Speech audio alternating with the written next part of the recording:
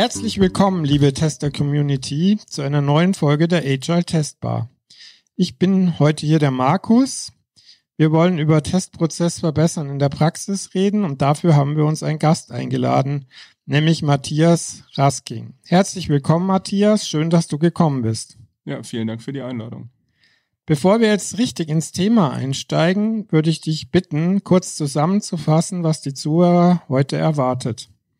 Gerne. Zu Testprozessverbesserung in der Praxis möchte ich auf Folgendes eingehen. Zum einen ist es mir wichtig, äh, dass ich meine Erfahrung ein bisschen wiedergeben kann, wie man wirklich in laufenden Projekten oder auch im Anwendungsbetrieb Testprozesse verbessert und warum man das eigentlich tun sollte. Und zum Zweiten wollte ich ein bisschen wiedergeben, was es eigentlich für Ressourcen da draußen gibt, mit welchen Modellen man da arbeiten kann und wie man diese an seine tägliche Arbeit auch anpassen kann. Ja, vielen Dank. Bevor wir jetzt tiefer ins Thema reingehen, wäre es schön, wenn du noch ein paar Sätze zu dir sagen könntest, wer du bist und was du für Schwerpunkte hast. Ja, natürlich. Also Matthias Rasking, ich komme hier aus Frankfurt, ähm, bin jetzt seit knapp 24 Jahren in der IT und dort auch immer im Testing unterwegs. Ich habe ähm, eigentlich mal Chemieingenieurwesen äh, studiert, bin dann aber Ende der 90er quasi in die IT reingefallen weil ich international arbeiten wollte und weil das einfach äh, sehr heiß war, der Markt gerade. Und ja, wie der Zufall es wollte, war meine erste Rolle dann ein manueller Tester. Das heißt, komplett unbedarft bin ich hingegangen, habe mich durch irgendwelche GUIs geklickt und habe Spaß daran gefunden, dass ich sowohl technisch ein bisschen was mitnehmen konnte, ähm, aber auch fachlich äh, teilweise Sachen verstehen konnte und so ein bisschen die Brücke bilden konnte.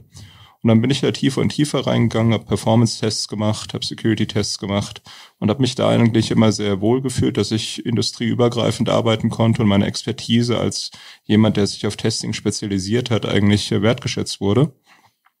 Und so nach zehn Jahren ungefähr, da, damals war ich dann bei Accenture mittlerweile, ähm, habe ich von ähm, einer Testprozessverbesserungsmethodik äh, gehört namens Testing Maturity Model. Das wurde damals gerade neu entwickelt von ein paar Leuten und das hat mich interessiert, weil ich sehr prozessaffin war und ähm, ich für mich eben auch keinen wirklichen Background darin hatte. Das heißt, ich wollte mal verstehen, wie kann man das eigentlich besser machen und vor allen Dingen, wie kann ich das, was ich immer wieder in Projekten sehe, wie kann ich das auch mal langfristig verbessern.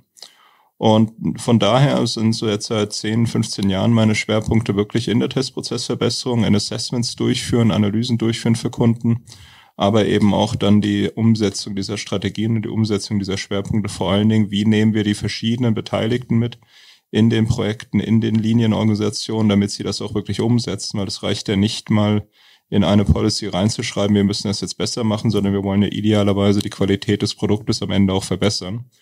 Und das ist so mein Schwerpunkt. Mittlerweile bin ich ähm, Geschäftsführer bei des Xentix hier in Deutschland. Wir sind ein kleineres äh, spezialisiertes Testing-Unternehmen, die sich eben auf Consulting spezialisiert hat in dem Bereich. Und nebenbei, darauf kommen wir gleich noch mal ein bisschen zu sprechen, bin ich jetzt seit über zehn Jahren auch in der Team My Foundation aktiv. Das ist eine Not-for-Profit-Organisation mit dem Ziel, eben Testprozessverbesserung in der Praxis äh, weltweit einzuführen. Und da bin ich eben als Freiwilliger schon lange unterwegs und unterstütze die Organisation. Wie lange beschäftigst du dich denn schon mit dem Thema Testprozessverbesserung? Also angefangen hat eigentlich alles, als ich bei, bei Accenture nach der Geburt meines ersten äh, Kindes, meiner ersten Tochter, ähm, eine interne Rolle erstmal suchen wollte, weil Consulting halt immer viel mit Reisen äh, zu tun hat. Und da gab es gerade die Chance, ein sogenannter Quality Improvement Liaison zu werden. Das heißt, da hat Accenture intern versucht, bei seinen eigenen Projekten ähm, die Qualität zu verbessern und zwar rundherum, ein kompletter Entwicklungsprozess von Projektplanung über Requirements, eigentliche Entwicklung und eben auch Testing. Und da ich aus dem Testing kam, lag mir das relativ nah. Und wie der Zufall es wollte, war das dann die Vorbereitung für ein CMMI ähm, Level 3 Assessment, ähm, das Accenture damals global ähm, machen wollte. Und so habe ich mich das erste Mal mit Prozessverbesserungen im Allgemeinen beschäftigt. Und natürlich war mein Schwerpunkt dann immer äh, Thema Test und Release Management, weil ich mich da einfach ähm, am besten auskannte. Das heißt eigentlich, das war 2006, ist das jetzt schon 16, 17 Jahre lang her. Und das ist ja auch der Grund, wie du auf das Thema gekommen bist, wenn ich das richtig verstanden habe. Genau, ich hatte eine kleine CMI-Schulung äh, dann gemacht und wollte mich dann einfach äh, da noch vertiefen, weil ich gemerkt habe, da gibt es sehr viel, ähm, was man in dem Bereich machen kann. Allerdings hat CMMI jetzt nicht sehr viel zu Testing zu sagen.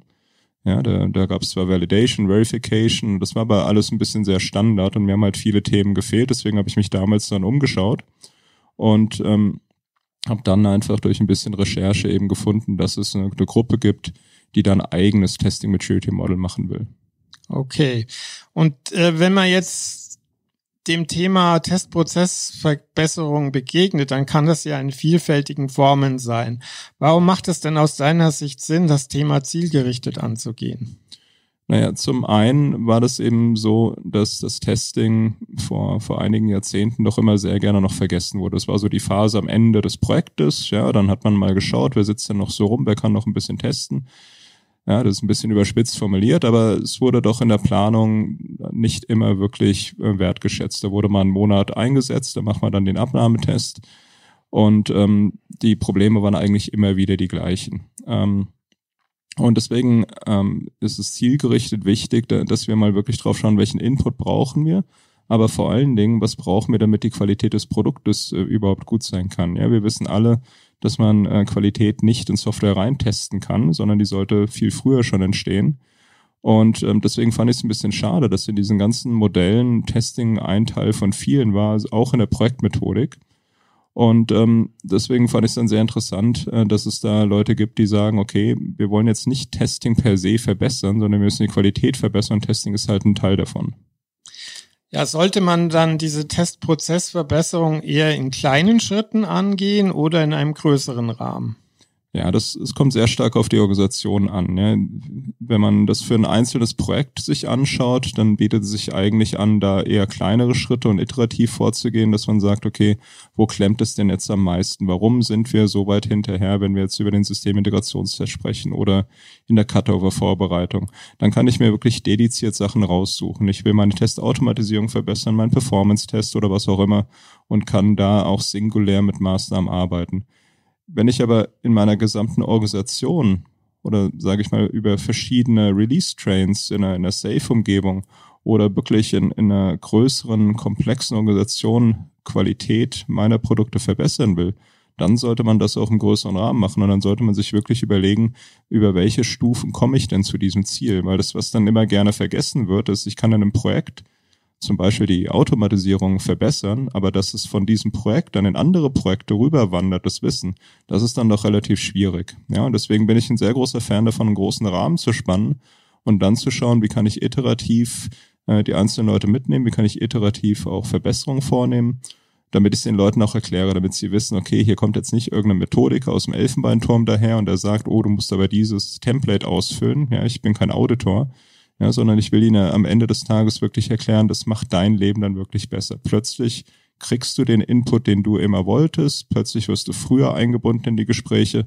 weil du eben nicht nur als Stolperstein auf dem Weg zum Go Live ähm, gesehen wirst, sondern als du, dass du jemand gesehen wirst, der wirklich auch helfen kann, frühzeitig die Weichen zu stellen. Und deswegen kleine Schritte ja, aber die Leute müssen den großen Raum auch kennen. Dann hältst du wohl von Testprozessverbesserung so nebenbei nicht so viel. Nicht wirklich, wenn es ein eingespieltes Team ist, ja. Also wenn es soll heißen, wenn man sich schon einmal quer über die Organisation Gedanken gemacht hat, wo will ich eigentlich hin, mit welchen Maßnahmen will ich die Qualität erhöhen und ich da vielleicht auch ein paar Assessments mal als, als Meilenstein ähm, mir, mir vorgenommen habe, dann geht das auch nebenbei, ja. Dann kann das wie in jedem agilen Projekt, dann kann ich in meinem Backlog da einzelne Improvement Steps reinnehmen wir wissen nur und wir sprechen über Testprozesse in der Praxis. Das klingt gut, aber gerade diese Improvement Steps, Refactoring Sachen, die fallen halt gerne auch aus dem Backlog raus, wenn dann doch die Zeit wegrennt. Ja, das heißt nebenbei, ja, wenn die Disziplin da ist und wenn die Leute auch Erfahrung damit haben, dass sie es dann eben nicht über Bord werfen, nur weil jetzt wieder irgendein Meilenstein äh, brennt oder weil ein Feature gerade nicht fertig wird. Trotzdem stellt sich natürlich die Frage, ob Testprozessverbesserung nicht eher im Rahmen der Verbesserung des gesamten Softwareentwicklungsprozesses angegangen werden sollte. Auf jeden Fall, auf jeden Fall. Also wenn man sich die, die verschiedenen Modelle anschaut, ähm, dann sind wir da ja nicht im, im luftleeren Raum unterwegs.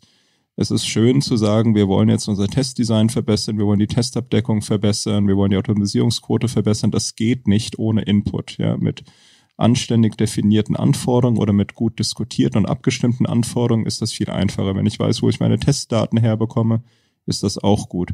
Wenn die Infrastruktur meine Umgebungen so bereitstellt, dass ich sie verwenden kann, geht das auch. Das heißt, ich muss mir den kompletten Softwareentwicklungsprozess anschauen. Ansonsten ähm, verpufft das Ganze, was ich da mache. Das heißt, für mich ist ein, ein gutes Modell, mit dem ich Testprozesse verbessere, immer eines, das über den Tellerrand hinausschaut und auch den Kontext annimmt. Wenn ich gerade in einer agilen Transformation bin oder vor kurzem Safe eingeführt habe oder Discipline Agile Delivery oder welches Modell auch immer, dann bringt es mir nichts, wenn ich sage, okay, aber wir wollen jetzt das so und so am besten noch in diesem Tool umsetzen. Nein, dann muss ich auf den kompletten Kontext schauen.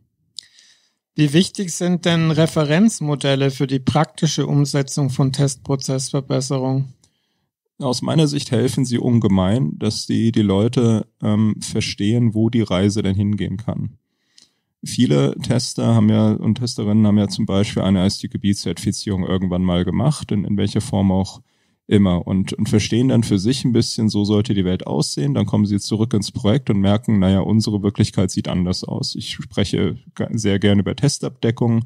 Wir wollen Edge Cases definieren, aber naja, wir sind dann zu Hause doch eher mit den Experten-Testfällen ähm, konfrontiert, die eher High-Level beschrieben sind, die aus historischen Testfällen bestehen.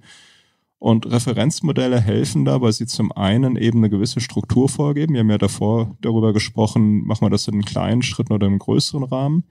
Ähm, das heißt, diese Referenzmodelle können den größeren Rahmen darstellen, zum Beispiel von wir finden Fehler hin zu wir verhindern Fehler, von ähm, wir gehen mit Risiken irgendwie um hin zu wir vermeiden Risiken. Und diese, diese große Sicht, die ist in Referenzmodellen äh, meistens sehr gut beschrieben. Und zum Zweiten, steckt da natürlich auch sehr viel Expertinnenwissen letztendlich drin in diesen Referenzmodellen. Da sitzen ja Leute zusammen, die das alle schon äh, öfter gemacht haben. Und klar, wie bei jedem Standard, wie bei jedem Modell, ist es dann meistens irgendein Kompromiss. Aber trotzdem, da steckt sehr viel ähm, Energie drin und da steckt auch sehr viel Know-how drin. Ähm, und manchmal eben auch Sachen, auf die ich selbst nicht gekommen werde. Das Wichtigste für mich ist, ja, dass man da auf den Kontext achtet, dass man da überlegt, wo bin ich denn eigentlich? Kann ich das Ganze umsetzen, so wie das Referenzmodell will? Und ähm, vor allen Dingen, was ist das Ziel des Ganzen? Was will ich denn für mich eigentlich erreichen? Und welche Eigenschaften sollten solche Referenzmodelle dann aufweisen, damit sie in der Praxis optimal einsetzbar sind? Also optimal äh, wäre aus meiner Sicht, dass wir ein Referenzmodell haben, das mir sagt, ähm, was ich letztendlich ähm, tun soll, um bestimmte Bereiche zu verbessern, das mir aber nicht sagt, wie ich das tun soll. Das heißt, mir nicht sklavisch vorschreibt, nutze dieses Template und alles wird gut. Oder schreib folgende Sätze in eine Richtlinie und dann, dann wird automatisch alles besser. Ähm, zweitens, es sollte mir auch Beispiele geben. Wie gehe ich denn in einem agilen Projekt mit diesem Thema um? Wie gehe ich damit um, wenn ich zum Beispiel einen ähm, Entwicklungspartner habe, ähm, der auf einem anderen Kontinent sitzt, der, der outgesourced ist, wo es Verträge gibt. Wie gehe ich mit Testdaten um, wenn ich hier personenbezogene oder ähm, schützenswerte Daten habe? Also ich will schon Beispiele in so einem Referenzmodell sehen und nicht nur äh, Larifari, ähm, okay, du brauchst ein Testkonzept und aus dem Testkonzept machst du dann deinen Testplan und dann machst du mal weiter, sondern ich will da schon auch handfeste ähm, Beispiele drin haben, damit ich damit als Practitioner wirklich auch umgehen kann. Und welche Erfahrungen hast du selber in der Praxis mit der Anwendung von Referenzmodellen gemacht? Also ich würde mal sagen, die, die wichtigste Erfahrung ist, dass man ein Referenzmodell den Leuten erklären muss. Ja, dass es eben nicht bedeutet, hier ist ein Standard und an den müsst ihr euch jetzt halten, sondern dieses Referenzmodell hat folgende Ideen dahinter. Ja, wenn ihr ähm, dieses Referenzmodell verwendet und dann stufenweise euch verbessert, dann ist das, könnte das Endergebnis so und so aussehen. Und wir verwenden immer relativ viel Zeit darauf, dass wir am Anfang den Leuten erklären, was wir hier eigentlich vorhaben und woher das Referenzmodell eigentlich kommt. Weil es gibt ja Referenzmodelle am Markt, die sind proprietär. Da verkauft jemand Bücher zu dem Referenzmodell und auch zu der Testprozessverbesserung dazu. Es gibt welche, die sind dann eher ähm, Open Source und jeder kann etwas damit anfangen. Es gibt welche, die gehören einzelnen Firmen, die sie aber dann wiederum nicht verkaufen. Und man muss den Leuten schon erklären, was jetzt das Ziel ist und wie sie es selbst dann einsetzen können, weil ich habe schlechte Erfahrungen damit gemacht, dass man quasi gerade als externer Berater reingeht und sagt, okay, wir machen das jetzt mal und hier ist euer Ergebnis. Das klingt dann sehr stark nach Audit. Da sind die Leute nicht so offen. Wenn man sie ein bisschen mitnehmen kann und sie auch ein bisschen mit dem Referenzmodell spielen lässt, dann erkennen sie sich das sehr schnell wieder und finden heraus, naja, das, was ich den ganzen Tag mache und vor allen Dingen das, was ich schon immer mal besser machen wollte, das steht da drin. Das, das ist auf Level 2, das ist auf Level 3 oder das ist in meinem dritten Checkpunkt irgendwo zu sehen. ah, und das sind die Punkte, die ich davor nie gemacht habe, die sollte ich jetzt mal angehen. Also das Verständnis ist mir wichtig, warum in dem Referenzmodell Sachen drinsteht. Ähm, und dann kann man es letztendlich auch sehr gut verwenden, damit die Leute es, wie eine Referenz ja auch sein soll, wirklich als Referenz fürs tägliche Doing verwenden können. Hast du denn trotzdem schon mal Testprozessverbesserungen auch ohne Einsatz eines Referenzmodells durchgeführt? Also ganz ohne würde ich jetzt nicht sagen. Es ist natürlich ein gewisses Modell immer in meinem Kopf auch dabei. Ähm, aber es ist schon so, dass, dass wir auch Testprozessverbesserungen, gerade punktuelle Testprozessverbesserungen ähm, vorgenommen haben in Bereichen, für die es jetzt kein explizites Referenzmodell gibt. Also ich nehme mal das Beispiel Testautomatisierung. Ja, da, da gibt es in den großen Modellen nichts Explizites. Da gibt es ein paar Beratungshäuser, die da einzelne Sachen gebaut haben da ist dann eher der Grundsatz aus Referenzmodellen mir wichtig, ja, dass es gut geplant ist, dass ich weiß, was ich eigentlich testen will, dass ich daraus ableite, was ich automatisieren will.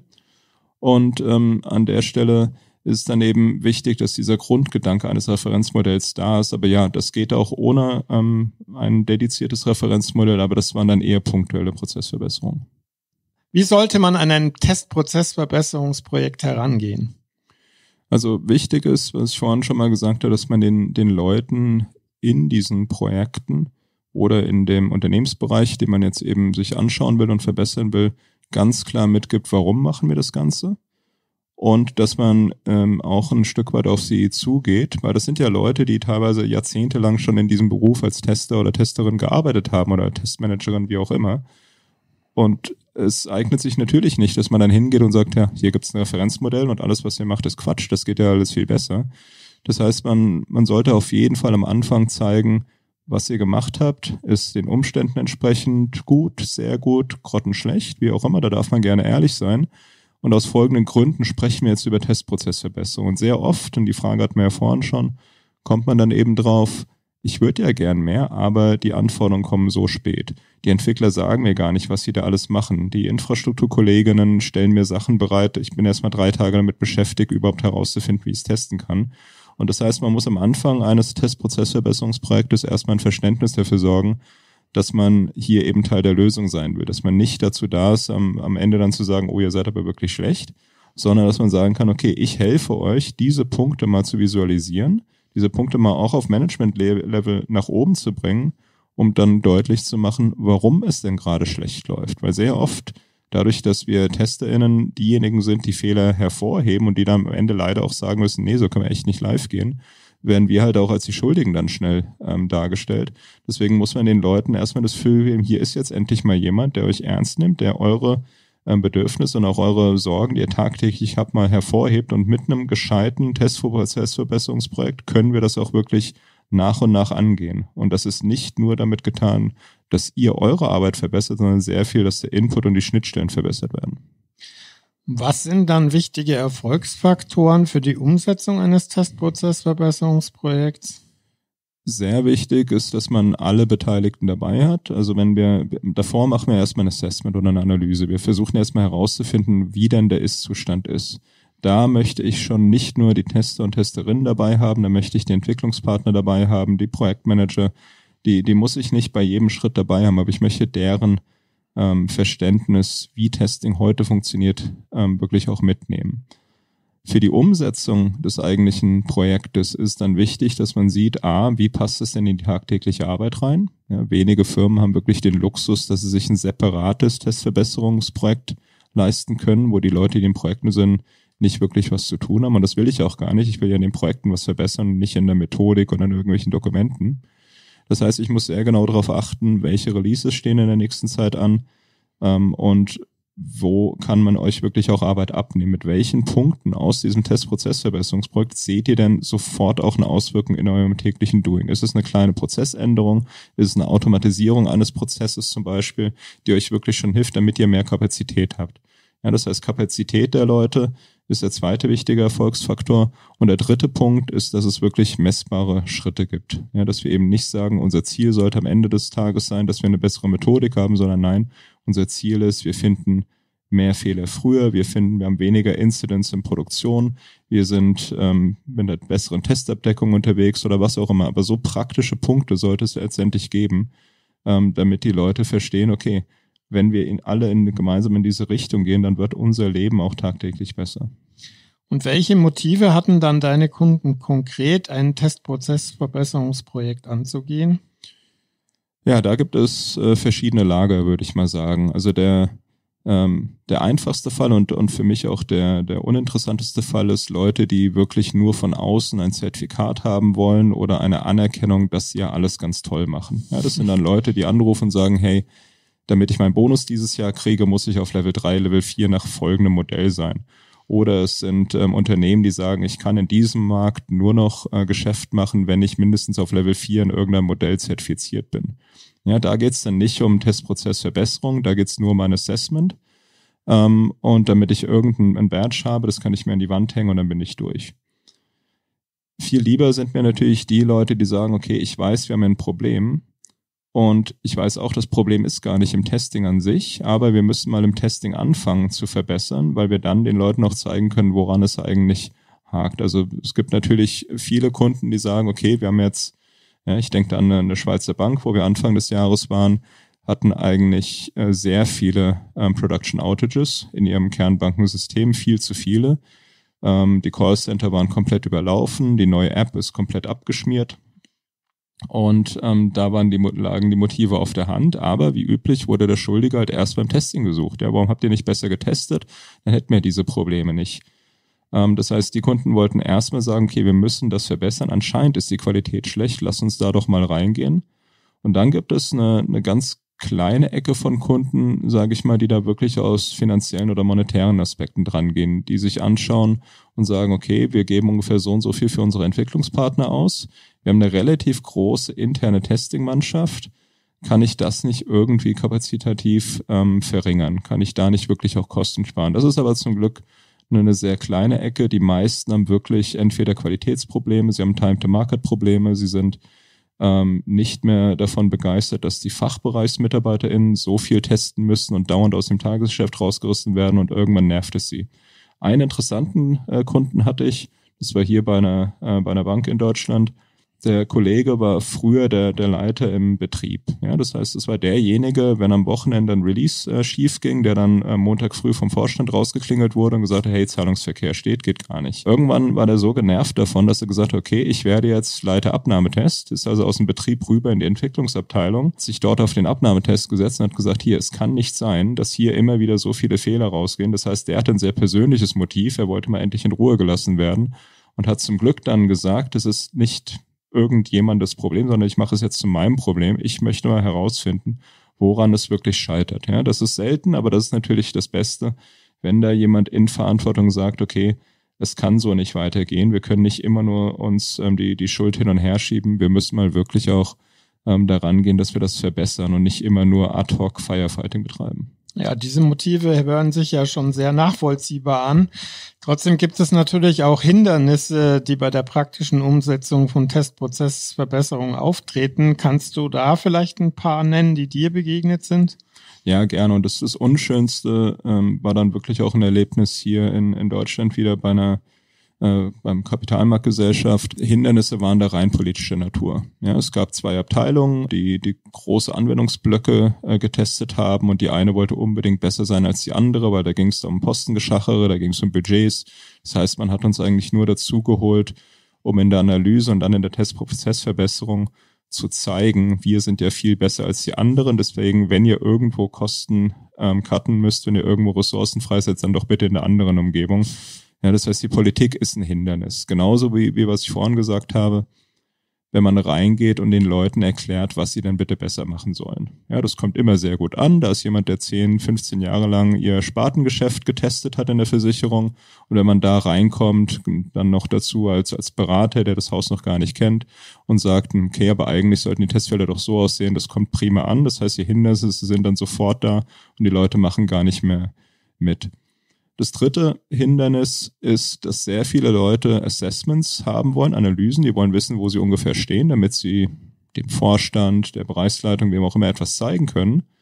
Aber dann haben sie nicht so wirklich Lust darauf, da wirklich in die Testprozessverbesserung einzusteigen. Ja, da fehlt dann das Budget, weil der Fachbereich gibt uns Geld, damit wir irgendwelche neuen Anwendungen ähm, erstellen oder dass wir neue Features äh, beibringen. Und dass wir interne Testprozessverbesserungen machen, Da gibt es ähm, gerade in IT-Bereichen leider noch sehr wenig äh, Budget dafür, weil wenn es nicht regulatorisch gefordert ist, ja, wenn es da keine Findings gibt, dann muss man erstmal den, den ähm, Schritt dazu hinkriegen, dass die Leute verstehen, ich muss da trotzdem mal investieren. Wie stark ist denn der Einfluss des Kontextes auf das Thema und wie sollte in der Praxis der Kontext berücksichtigt werden? Der ist natürlich sehr stark und ein, ein gutes Modell lebt davon, dass man dieses Modell auch an den Kontext anpassen kann. Ich hatte ja schon über die Softwareentwicklungsmethodik gesprochen. Es ist natürlich ein Unterschied, ob ich jetzt im traditionellen Wasserfall mich bewege oder in, in Scrum oder in Safe oder im Engineering-Bereich unterwegs bin, weil da einfach äh, die Testprozesse ähm, leicht anders sind und die Stufen anders sind.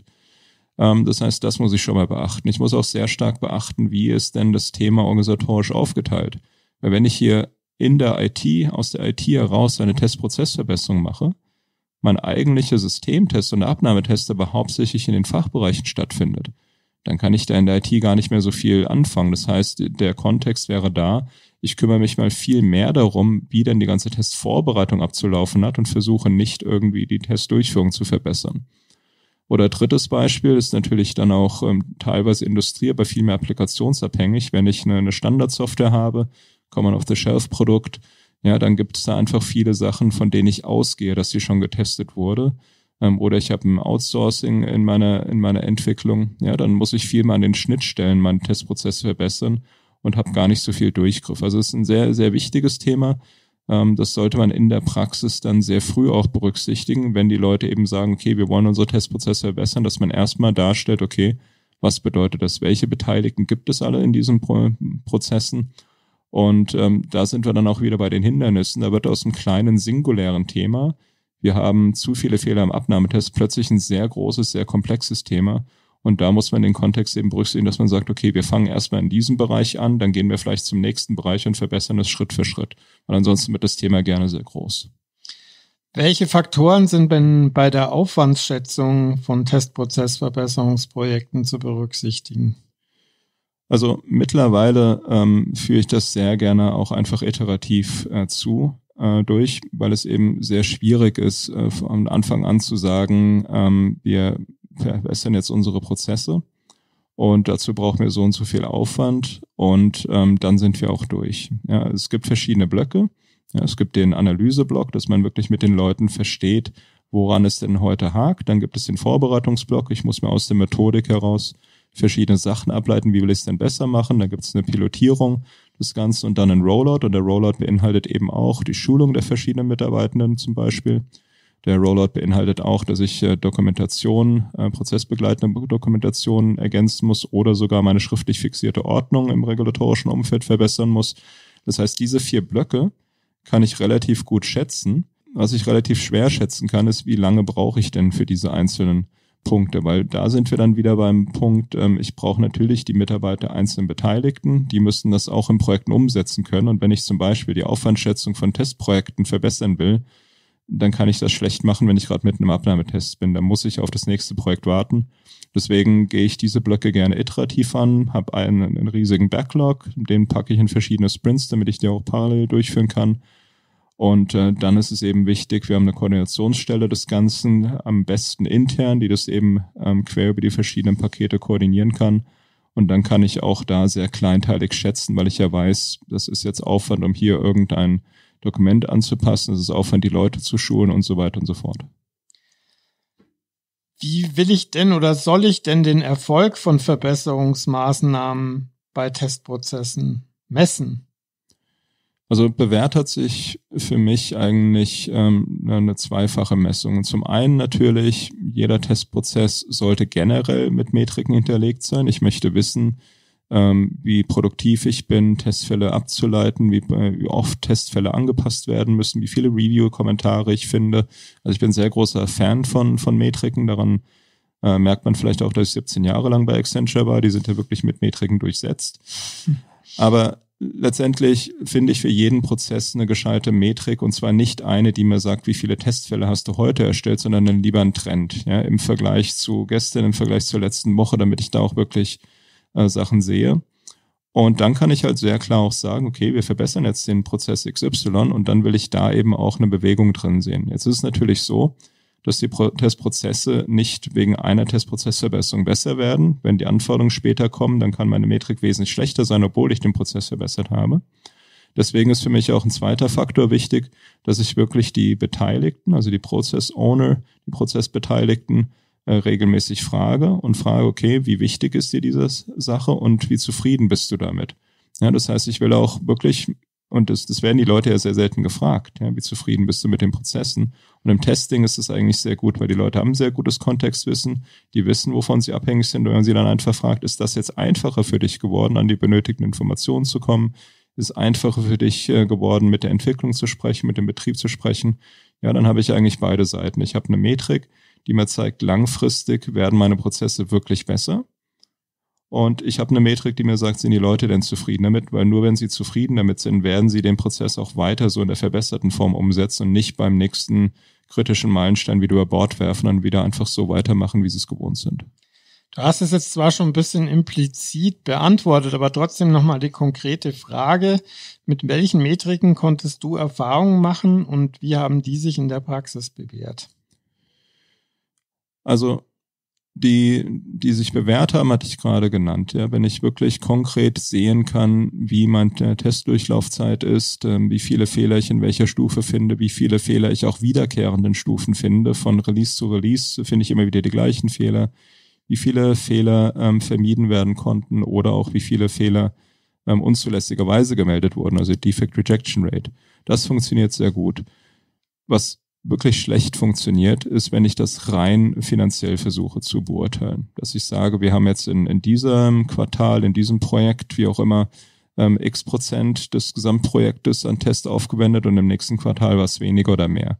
Weil das ist so extrem schwankend, äh, wenn ich nicht gleichzeitig auch die Softwareentwicklung verbessere, dass ich mittlerweile komplett davon weggegangen bin, äh, wenn Leute vor einem Testprozessverbesserungsprojekt einen richtigen Business Case haben wollen, ja, weil damit habe ich auch schlechte Erfahrungen gemacht, ja, dass es dann nur noch darum geht, kann ich in meinem nächsten Budget drei Planstellen rausschneiden, weil ich ja schneller werde. Das machen wir auch bei der Testautomatisierung nicht mehr.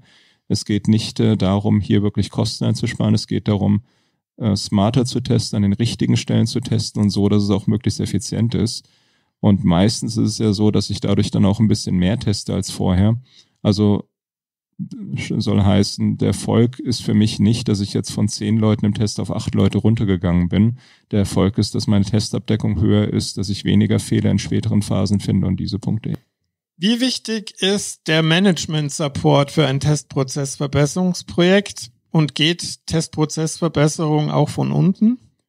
Also wie jeder Change ähm, muss dieser Change natürlich auch oben verankert werden. Die Leute müssen gerade am Anfang erstmal ein Verständnis dafür gewinnen, warum müssen wir jetzt hier irgendetwas verbessern und sie brauchen auch so eine kleine Navigationshilfe und die kann aus meiner Sicht nur aus dem, dem Management, aus der Teamleitung, wie auch immer wir das, das nennen wollen, je nachdem wie flach die Hierarchie ist, kann nur da rauskommen.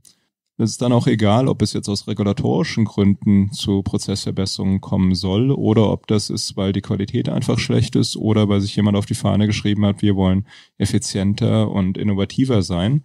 Aber das Management muss da vorangehen und muss auch beteiligt sein. Das heißt, in den ähm, Assessments führen wir auch Assessments mit dem Management durch, um zu verstehen, wie denn ihre Sicht ist und vor allen Dingen, was kriegen sie denn eigentlich mit?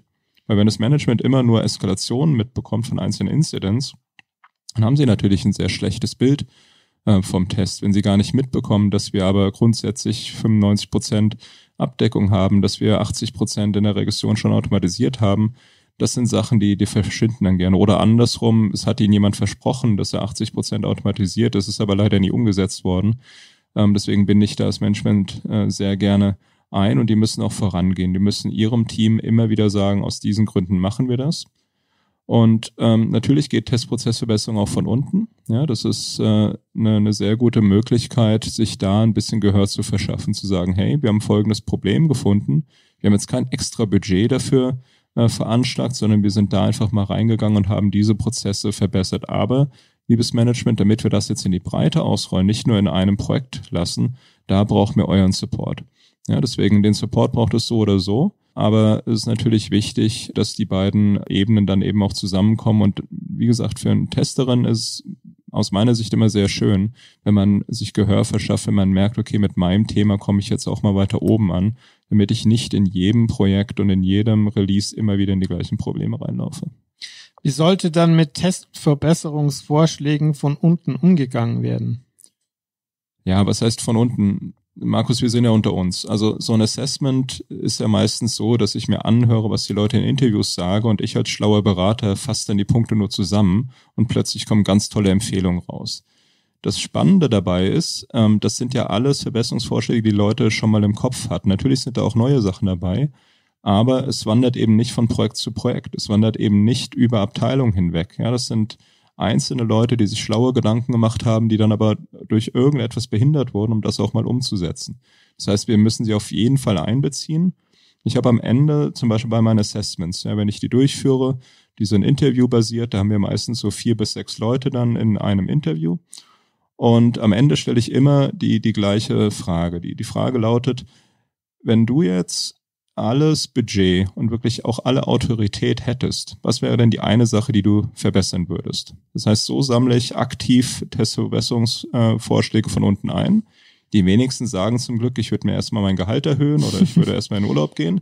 Die meisten haben dann klar auch ein, ein, paar unrealistische Vorschläge, wie ich würde eine komplette produktionsnahe Testumgebung mir nochmal hinsetzen. Aber das ist ja wichtig, ja. Und, und so versuche ich die einzufangen und weiche da ein bisschen von den Referenzmodellen ab, sondern frage mal wirklich ganz persönlich jeden Einzelnen ab und da kriegt man sehr interessante Sachen, die ich direkt in mein Backlog dann einarbeiten kann. Was hältst du von unternehmensinterner Testprozessverbesserung? Das ist eigentlich mein Ziel. Also wenn ich, wenn ich hingehe und den Leuten ein Referenzmodell und ein Testprozessverbesserungsprojekt vorstelle, dann ist mein Ziel, dass wenn ich weg bin, das weitergeführt wird. Ja, weil wir machen das ja nicht einmalig. Wir wollen nicht die, die Dokumentation verbessern, damit wir durch irgendein ISO-Audit durchkommen und durch irgendeinen regulatorischen Check, sondern ich will ja, dass es im Unternehmen lebt, weil ich fest davon ausgehe, dass die, die Prozesse, die wir verbessern, auch wirklich gut für die ganzen Menschen dann sind. Bedeutet, wir brauchen explizit im Unternehmen Leute, die sich das auf die Fahne schreiben. Ob das jetzt eine dedizierte Testprozessverbesserungsstelle ist, wie es in, in manchen Unternehmen gibt, also wirkliche Testarchitekten, die, die nichts anderes machen, oder ob das dann einfach so eine Art Community ist von, von Testmanagerinnen, die das dann, ähm, die sich einmal im Monat treffen und über diese äh, Verbesserungsvorschläge sprechen und die dann nach und nach einsetzen. Das ist mir egal, aber ich will es im Unternehmen verankert werden. Ich glaube schon, dass es in den meisten Fällen so eine Art externen Anstoß geben muss. Aber letztendlich will ich, dass es im Unternehmen verankert ist und will, dass die Leute auch weitertreiben, weil sie selbst daran glauben. Ja, welche Vorteile hat dann der Einsatz eines externen Dienstleisters für die Durchführung eines Testprozessverbesserungsprojekts? Also zum einen ist die Struktur so eines Prozessverbesserungsprojektes schon ja relativ gewöhnungsbedürftig. Ja, wie ich vorhin sagte, es ist jetzt nicht ungewöhnlich, dass ich mal überlege, wie ist denn der Stand heute, dass ich dann theoretische Basis schaffe, das dann pilotiere. Aber es gibt ehrlicherweise ja so viele Prozessverbesserungsprojekte, mit denen die Kolleginnen da draußen dauernd konfrontiert werden. Ja, es gibt Kostenreduktionsprogramme, es gibt die digitale Transformation, die agile Transformation. Jeder kommt auf dich zu und sagt, hey, wir verbessern jetzt mal was. Deswegen ist es wichtig, dass man da am Anfang auch ein bisschen ein externes Coaching hat, das den Leuten erklärt, warum machen wir das eigentlich und was, was ist eure Rolle da drin. Und zum Zweiten hilft so, eine, so ein externer Dienstleister auch sehr deutlich dabei, diese Barriere zwischen den Leuten, die die Prozesse wirklich durchführen und dem Management mal zu durchbrechen und den Leuten wirklich zu sagen, okay, schön, ihr wollt Testprozesse verbessern, aber ihr habt so grottenschlechte Anforderungsentwicklungsprozesse, fangt doch bitte mal erst da an. Ansonsten können wir machen, was wir wollen im Test. Das wird nie besser. Ja, und diese, diese Sachen kann man sich abholen, was ein externer Dienstleister natürlich auch sehr gut machen kann, dann kann sich auch mal eine Watschen abholen. Ja, das ist, das ist derjenige, der den Finger in die Wunde mal steckt und dann auch dadurch durchaus mal angegriffen wird. Ich weiß nicht, ich habe in Südafrika mal Testprozessverbesserung durchgeführt. Wir haben die ersten Interviews geführt, dann haben wir, was ich sehr gerne mache, eine große Townhall-Session gemacht, wo wirklich jeder zu dem Projekt Fragen stellen konnte. Allererste Frage, hey, die Arbeitslosigkeit in Südafrika ist so hoch, warum kommt ihr jetzt mit extern herein? Kann das nicht jemand intern machen? Wir haben doch viel bessere Leute. Und das ist natürlich dann hilfreich, wenn dann der Externe da vielleicht auch mal ein bisschen rot wird und ein bisschen rumstammelt oder idealerweise auch eine gute Antwort dafür hat. Aber er kann diesen Druck oder sie kann diesen Druck auch mal ein bisschen abfedern, damit die Leute sehen, hey, wir als Unternehmen wollen besser werden. und diese externen helfen uns dabei. Ja, deswegen ist es gar nicht so schlecht, da am Anfang, zumindest für diese Navigationshilfe, die ich vorhin erwähnt habe, sich ein bisschen externe Unterstützung zu, zu holen. Wie wichtig ist die Beteiligung eines erfahrenen Assessors? Das ist für mich wirklich unabdingbar. Ja, da bin ich natürlich ein bisschen mit Vorurteilen behaftet, aber ein Assessment wirklich gut durchzuführen, und mit gut meine ich, dass es einigermaßen objektiv ist, dass die Leute Vertrauen entwickeln, sich auch wirklich öffnen und sagen, was hier, was hier schief läuft und was man besser machen kann. Und dass das Assessment dann auch wirklich repräsentativ ist. Dazu braucht man eine gewisse Erfahrung, wie man das macht. Ja, die, die interne Sicht, das sehe ich ja in meinem eigenen Unternehmen, wenn ich da auf meine eigenen Prozesse schaue, dann hat man immer gewisse äh, Scheuklappen auf.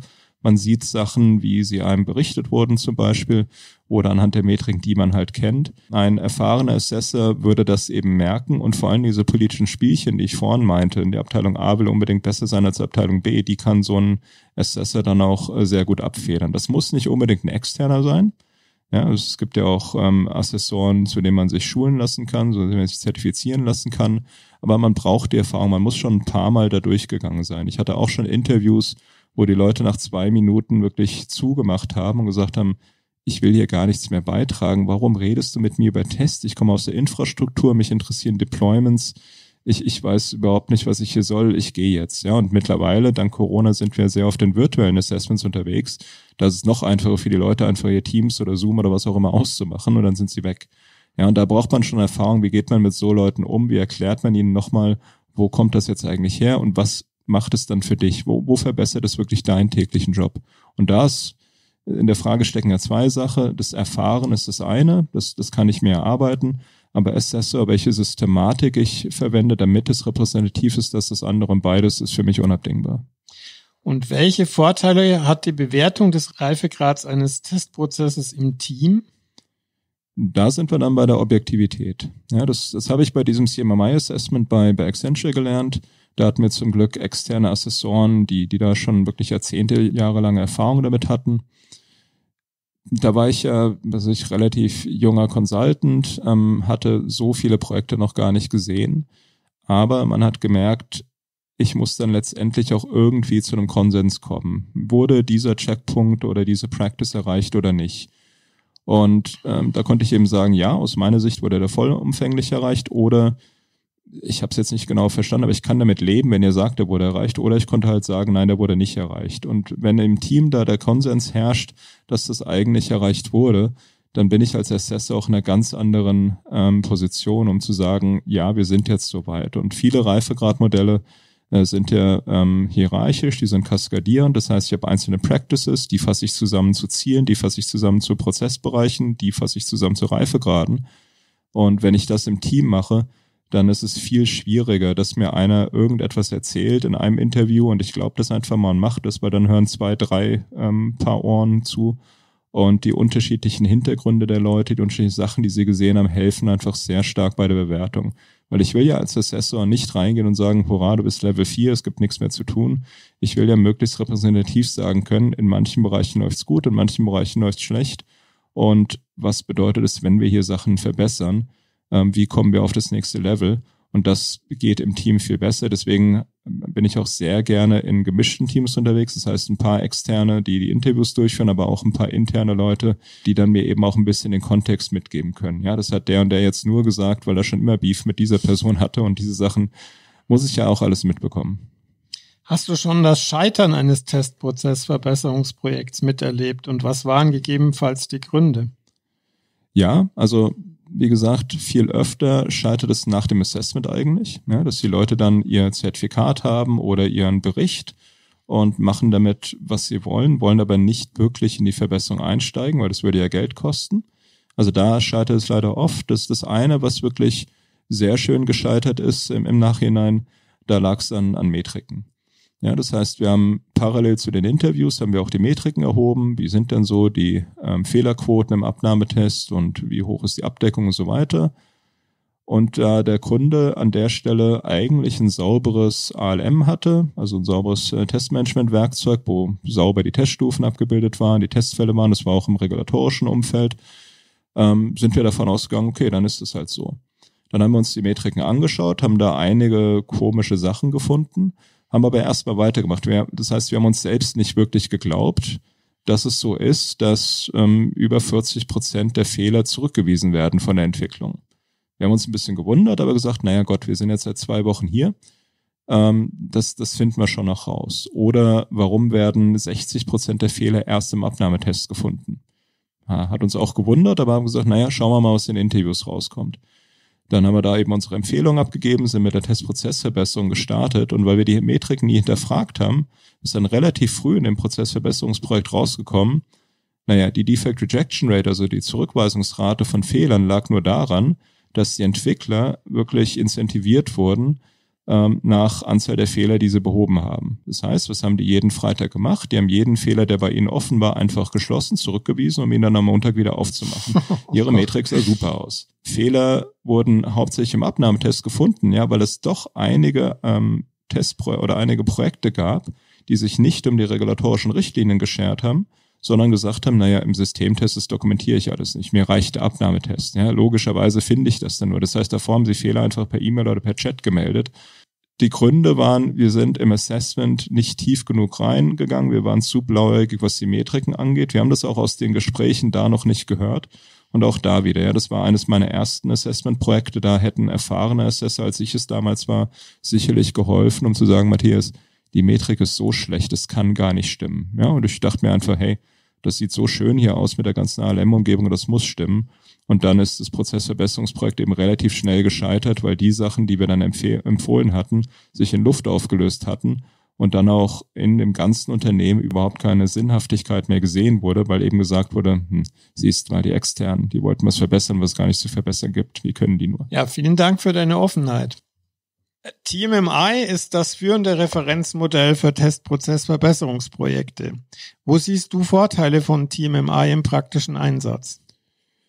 Also der eine große Vorteil ist, dass TMMI wirklich ein offenes Modell ist. Ja, das wurde 2006, 2007 nach und nach entwickelt.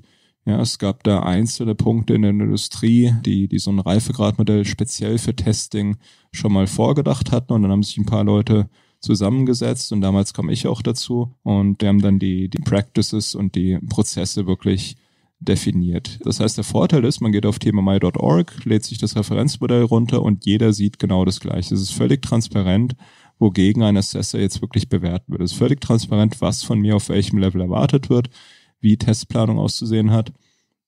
Und im praktischen Einsatz, darüber hatten wir vorhin schon mal ganz kurz gesprochen, ist für mich der, der wirklich unschlagbare Vorteil, ich gehe da rein, ich schaue mir zum Beispiel an, wie sollte man Aufwandschätzung machen für Testing.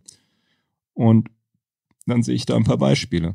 Ja, dann, dann wird da beschrieben, okay, was mache ich denn, wenn ich nicht in einem klassischen Projektplanungsbetrieb bin mit Work Breakdown Structure und so weiter, sondern was mache ich im agilen Umfeld? Und das steht da halt schon mal drin. Ich habe meinetwegen auch Templates, mit denen ich arbeiten kann. Ich habe ähm, spezielle Beispiele, wie ich mit einzelnen Punkten umgehe. Und da steckt einfach äh, sehr viel Wissen drin. Das ist ein, ein großer Vorteil, diese Offenheit. Ja, jeder kann da mitarbeiten, jeder kann Fragen stellen. Der, der zweite große Vorteil ist, dass es ein, ein gestuftes Modell ist.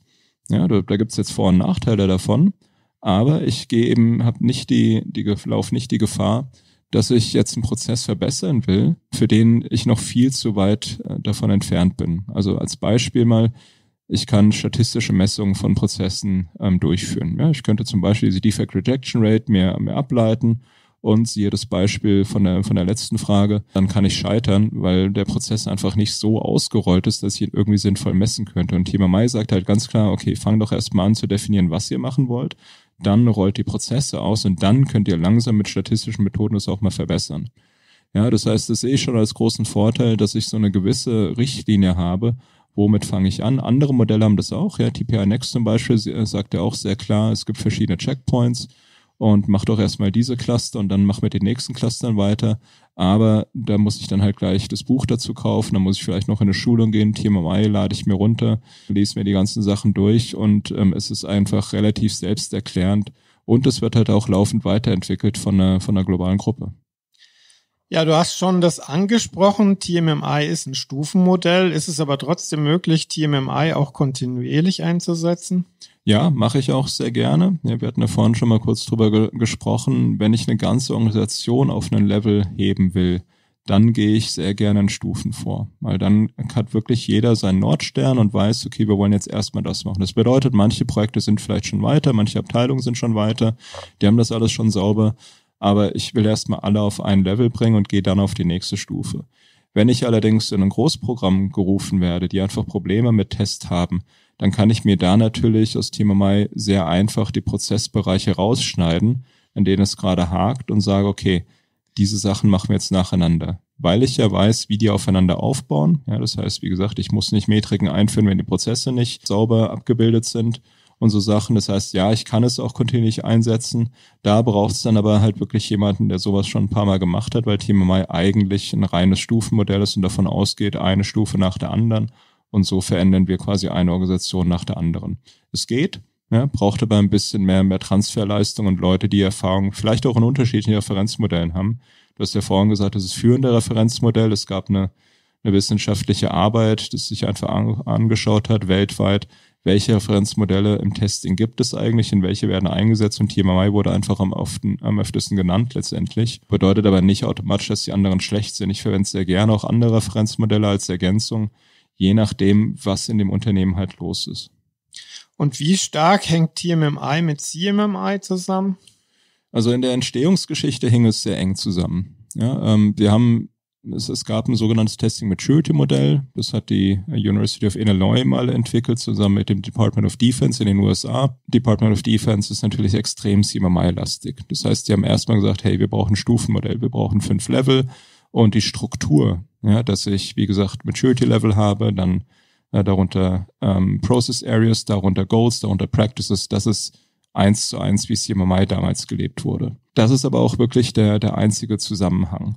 Ja, das heißt, es gibt keine Verbindung zwischen dem SEI, also dem Institut, das hinter CMMI steckt, oder anderen Assessoren. Ja, man hat sich wirklich nur der Struktur bedient, weil wir als TMMI Foundation eben gesagt haben, warum sollen wir jetzt, jetzt was komplett Neues ausdenken? Nehmen wir doch ein Referenzmodell, was funktioniert in der Praxis mit allen äh, Vor- und Nachteilen.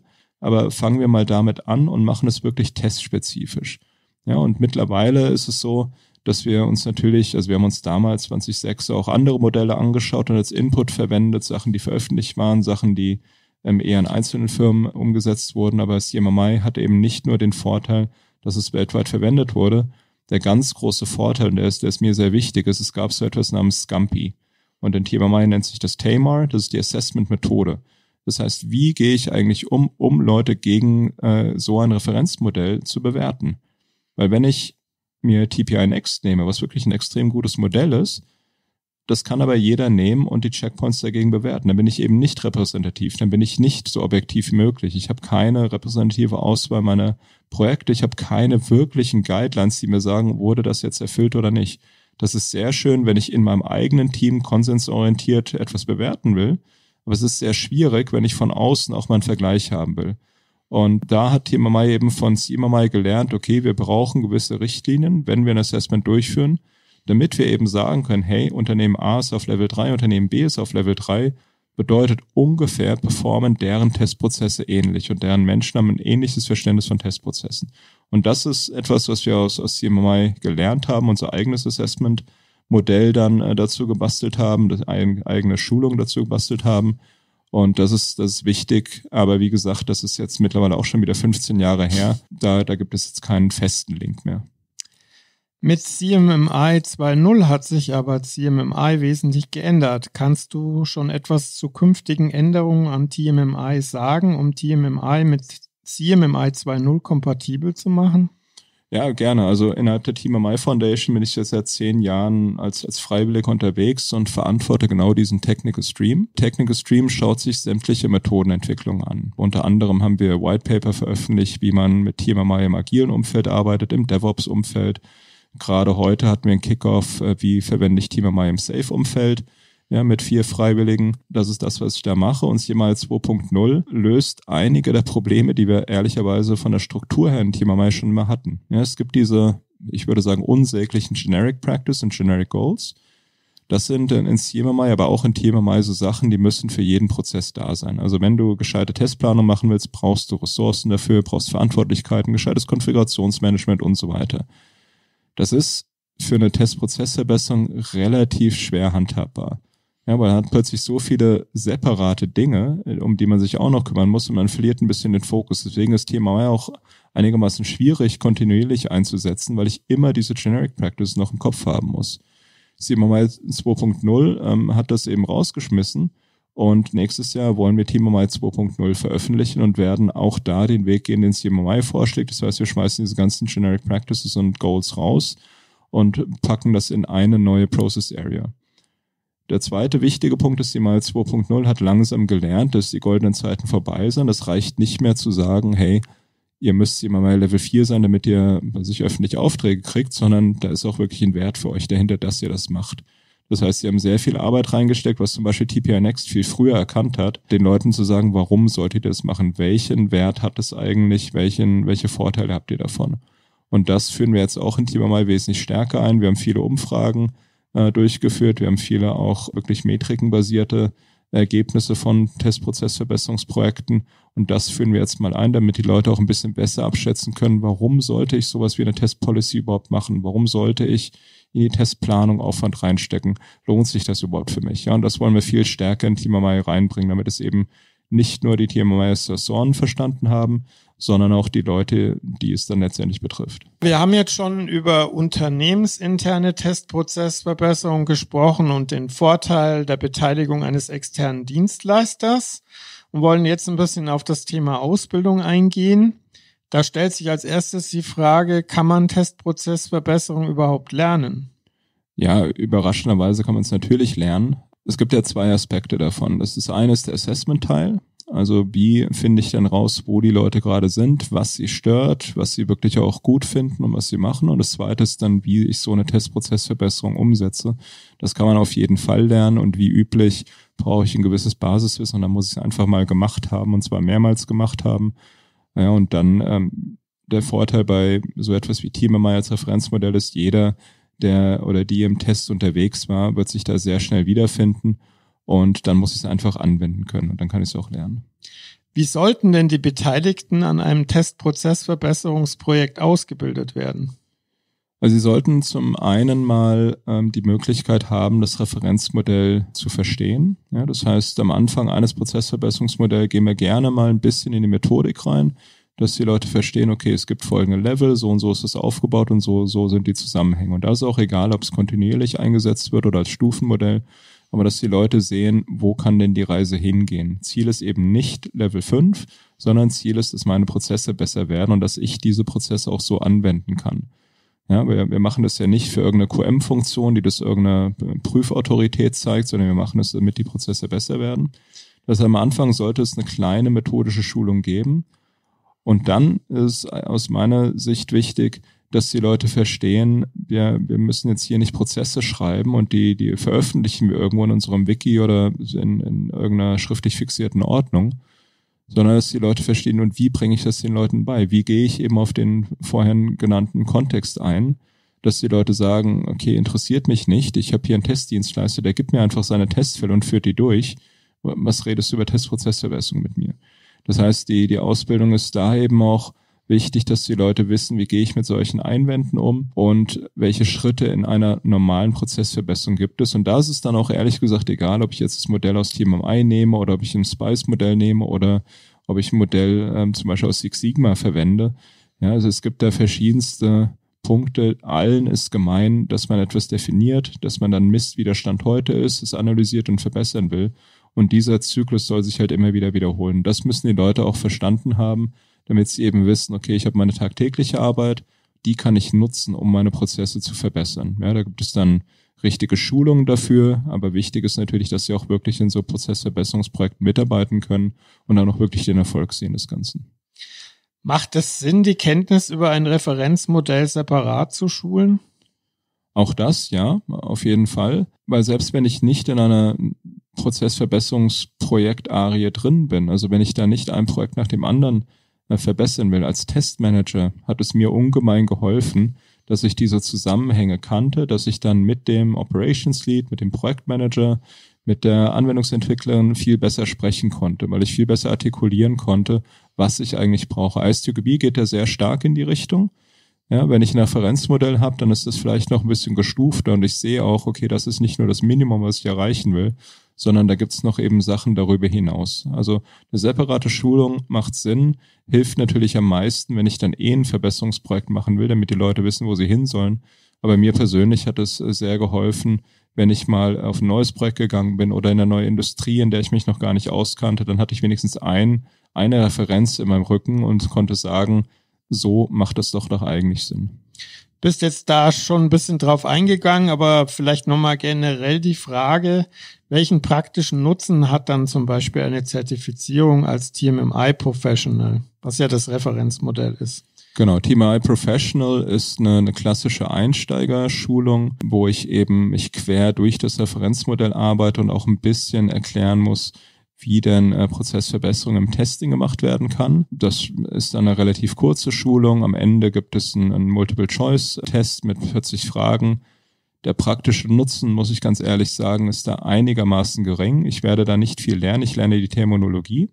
Ich lerne das Referenzmodell ein bisschen kennen, aber ich bin kein Freund von, von expliziten Zertifizierungen. Der praktische Nutzen bei so etwas ist viel eher daran, dass ich mich damit beschäftige, dass ich mich wie in jeder Schulung mit den anderen Teilnehmenden austausche und höre, oh, die haben ja doch die ähnlichen Probleme. Ja, das heißt, ich würde es jetzt nicht vorschlagen, kommt, lasst euch alle als Thema My Professional schulen. Ja, da kriege ich jetzt vielleicht Prügel von den Trainingsbeauftragten in der Thema My Foundation. Die wollen natürlich mehr Schulung sehen. Der Vorteil ist vielmehr, dass ich in einer Schulung sitze, mich da mit Gleichgesinnten mal austauschen kann und von denen hören kann, welche Probleme sie eigentlich haben der große Vorteil ist, wenn ich wirklich unternehmensinterne Prozessverbesserungen anstoßen will, wenn ich wirklich Assessments durchführen will, dann brauche ich ein Rüstzeug. Und da ist Thema My Professional sehr gut, ja, weil ich mich dadurch eben wirklich von A bis Z mit dem Referenzmodell beschäftige und mit allen Aspekten, die dazugehören. Und was habe ich dann als Assessor von einem Training? Ja, du hast erstmal den großen Vorteil, dass du mal in Situationen gesetzt wirst, wo du auch Interviews äh, durchführen musst, wo du auch mit Einwänden leben musst und machst es halt nicht schon gleich in deinem Unternehmen selbst.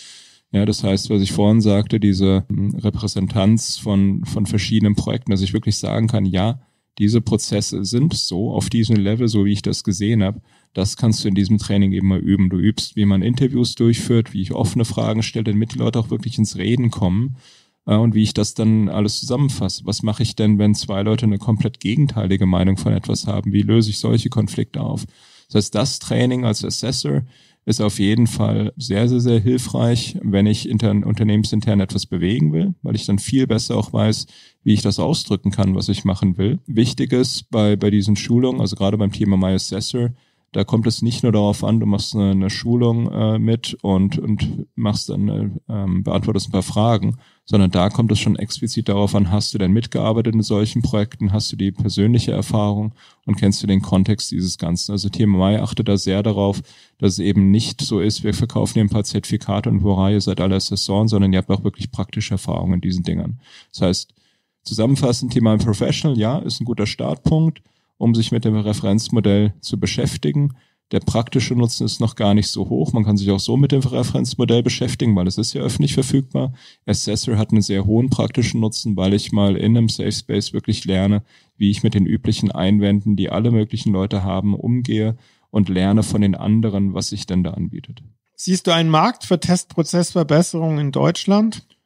Ja, klar, sonst wäre ich nicht in dem Markt. Ähm, der Markt ist leider nicht so groß, wie ich mir das wünschen würde. Die ersten Assessments habe ich 2008 durchgeführt und das waren wirklich Punkte wie die, diese eine äh, Bank, ja, wo der Kollege aus Operations rüber in Test gegangen ist, weil er einfach genervt war und er wollte seinem Management wirklich zeigen, hey, hier liegt einiges im Argen. Wir haben fünf verschiedene Dienstleister, die alle im Testing rumspringen und, und keiner macht es irgendwie richtig. Am Ende ähm, steht trotzdem mal der Zahlungsverkehr still, kann ja nicht sein. Aber man muss sagen, es ist relativ holprig. Ja? Alle Leute beschweren sich, die TesterInnen beschweren sich, die Entwickler beschweren sich, Operations beschwert sich, aber relativ wenige Leute gehen an das Thema ran. Auch deswegen, was wir vorhin schon gesagt haben, weil es gar nicht so viel bringt, wenn ich das isoliert verbessere, sondern ich muss im Gesamtkontext von Softwareentwicklung verbessern. Und da wissen wir alle, das ist groß, das ist komplex. Und zudem kam jetzt Jahr für Jahr eine neue Welle. Da kam Six Sigma Operational Excellence Verbesserung, da kam die agile Transformation, die digitale Transformation. Jetzt müssen wir alle DevOps machen. Jetzt machen wir dies, das und jenes. Überall ist Testing natürlich beteiligt, Das heißt, ich sehe auf jeden Fall den Markt da, weil die Leute dann verstehen, okay, diese ganzen anderen Themen, die, die kommen und gehen und die sind auch ähm, alle wichtig und müssen es machen. Aber letztendlich am, am Testing äh, scheiden sich eigentlich die Geister. Ja. Am Ende wollen wir so wenig wie möglich testen. Ja, also seien wir mal ehrlich, wir wollen nicht Herrscher von Testerinnen haben, die, die irgendwo wild rumklicken oder riesige Automatisierungsportfolien. Eigentlich müsste die Software so gut entwickelt werden, dass sie relativ wenige Fehler von sich aus hat und wir sehr zielgerichtet testen können. Ich will ja die Fehler vermeiden. Ich will sie nicht großartig finden mit viel Aufwand. Das heißt, da sehe ich eigentlich einen sehr, sehr großen Markt. Und dieses Verständnis in der Praxis reinzubringen, deswegen bin ich bei der Team MI Foundation und treibe es eben auch gerne persönlich voran, weil ich sehe da einfach, dass das Bild eines Testing Professionals sich leider gar nicht so stark geändert hat. Ja, es gibt Firmen, die mit Quality Engineering sehr gute Arbeit machen, wo wir auch durch Agilität sehr stark zusammengerückt sind. Also viele der Probleme, die ich vor 20 Jahren hatten, hatten wir nicht mehr. Ich kann ohne Probleme mit Entwicklerinnen sprechen oder mit Anforderungsentwicklern. Ich verstehe die Anforderungen besser. Aber trotzdem gibt es noch genügend Unternehmen, wo Test einfach nur eine Side Note ist, wo man mal einen Monat in einem Projekt einplant und dann hofft man, dass es funktioniert und dann wundert man sich, dass es drei Monate dauert. Deswegen der Markt ist auf jeden Fall da, wo wir einfach noch nicht sehr gut daran waren, den Leuten zu sagen, wenn ihr aus dem Test heraus eure Softwareentwicklung verbessert, dann fangt ihr eigentlich mit dem Wichtigsten an. Ihr fangt mit der Qualität an und schaut darauf, wenn die Qualität besser wird, werden automatisch die Kosten ähm, reduziert, wird automatisch eure Time to Market besser und das ist die, die Message, die wir viel besser in den Markt reintreiben müssen. Und dann haben wir, glaube ich, auch mal wirklich einen, einen vielfältigen Markt hier in Deutschland. Und wie hat sich das Thema Testprozessverbesserung durch das Vordringen von Agilität und DevOps verändert?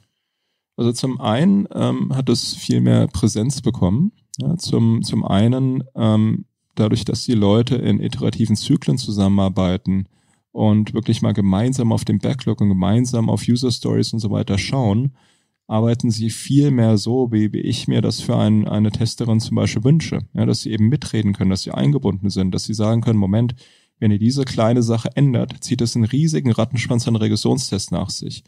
Ja, genau, egal ob äh, auch bei DevOps, ja, wenn ihr diese kleine Änderung macht, dann bedeutet das unser komplettes Monitoring-Konzept wird über einen Haufen geworfen. Ich muss das jetzt neu machen. Das heißt, es hat auf jeden Fall geholfen.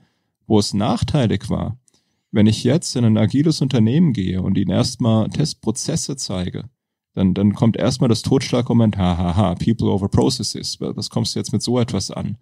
Ja, genauso, ich, ich bin auch bei ähm, in, in ISO beteiligt. Es gibt ja die, den Testprozessstandard 29119 und da gab es eine riesige Welle in der Industrie vor ein paar Jahren, dass man das ja unbedingt stoppen müsse. Und das wäre ja der Teufel selbst, wenn ich jetzt hier mit einem Prozessstandard um die Ecke komme. Habt ihr denn noch nie was von Risk-Based Testing gehört, von Context-Testing und so weiter und so fort? Das heißt, das hat einige Jahre gedauert, bis wir den Leuten erklärt haben, ey, das Referenzmodell ist kontextabhängig. Und nur weil da steht, dass ich eine gewisse Metrik gerne hätte, heißt es nicht, dass du die genau brauchst. Es ist nur ein Vorschlag. Das heißt, es hat uns leider auch ein bisschen zurückgesetzt, weil plötzlich es hieß, ne Moment, das machen wir ja alles konsensorientiert, das machen wir alles im Team. Ich, wir haben gar keine Tester mehr. Ja, das heißt, das Gute ist, die Zusammenarbeit hat sich sehr verbessert und Testing hat einen viel höheren Stellenwert bekommen. Auf der anderen Seite ähm, ist das Thema auch ein bisschen in Vergessenheit geraten, weil plötzlich war das komplette Team dann äh, gut oder war auch daran schuld, dass die Velocity gestimmt hat oder auch nicht. Also es ist ein zweischneidiges Schwert. Ähm, wir haben uns als Thema My Foundation äh, die Aufgabe gesetzt, dass wir eben da die Assessoren ähm, erstmal ausbilden, dass sie wissen, wie kann ich TeamMI in diesem Umfeld von Safe, von DevOps wirklich auch benutzen. Und darüber hoffen wir halt, dass es dann auch in die Projekte reingetragen wird. Ja, vielen Dank. Bevor wir jetzt zum Abschluss kommen, du bietest ja auch Dienstleistungen zum Thema an, oder? Genau. Also wir bieten zum einen Assessments ähm, an, ja, das heißt, äh, man, man kann zu uns kommen und so eine Art Baseline-Assessment wirklich informell bekommen, wo wir entweder mit TMMI, mit TPI Next oder auch mit unserem eigenen internen Modell, was dann wesentlich schlanker ist, reingehen und sagen, wo steht ihr denn eigentlich? Also wenn es jetzt ein individuelles Projekt ist, es hat einfach Probleme mit der Geschwindigkeit, es hat Probleme mit der Anforderungsgenauigkeit oder mit der Umsetzung, ja, dann, dann können wir da ein Assessment anbieten und zum Zweiten haben wir natürlich dann auch Beratungsdienstleistungen für die Umsetzung selbst. Also wie strukturiert man das? Das, das geht von, wir organisieren Workshops, damit unternehmensintern Prozesse verbessert werden können und wie gestalte ich den Übergang zu einer unternehmensinternen Testprozessverbesserung, bis hin zu, wir gehen da wirklich tief rein, übernehmen interimsmäßig die Verantwortung für bestimmte Rollen, setzen die Sachen auf und übergeben sie dann am Ende. Also da gibt es beide Sachen, Assessments und eben die Umsetzung selbst. Und was wir jetzt neu machen wollen, wir wollen auch langsam mal in den Schulungsbereich rein ja, dass wir eben Thema My Professional oder Thema My Assessoren ausbilden, weil wir haben jetzt ähm, genügend Erfahrung in dem Markt gesammelt und diese Erfahrung würden wir auch gerne mal dann zum Beispiel unternehmensinternen Prozessverbesserern dann zuteilkommen lassen. Und wie können Zuhörer dich jetzt kontaktieren? Also relativ einfach. Ähm, sixcentics.com ist unsere Webseite. Ja, also da könnt ihr einfach an matthias.rasking.sixcentics.com schreiben oder ihr findet mich eben auch unter tmmi.org. Ja, das ist die Webseite der TMMI Foundation. Dort sind meine Kontaktinformationen auch hinterlegt. Dort findet man auch die anderen Assessoren hier in Deutschland. Ja, ich bin jetzt zum Glück nicht der, der Einzige. Mich zum Beispiel. Genau, da findet man dann auch Markus und kann dich auch kontaktieren. Das heißt, es ist äh, da gar nicht so schwer, auf, auf LinkedIn mich auch zu finden, weil ich mittlerweile halt schon relativ viel in dem Markt gemacht habe. Ja, vielen Dank, Matthias, dass du dir die Zeit genommen hast, uns Testprozessverbesserung in der Praxis näher zu bringen. Wir haben viele Einblicke zum Thema gewinnen können. Vielen Dank, Markus, dass ich heute hier sein durfte, ein bisschen über meine Erfahrungen ähm, sprechen konnte. Ja, wenn aus der Tester-Community noch jemand Anregungen hat, Feedback geben will, dann schreibt er bitte an podcast.kitera.de und hoffentlich bis zum nächsten Podcast. Danke fürs Zuhören.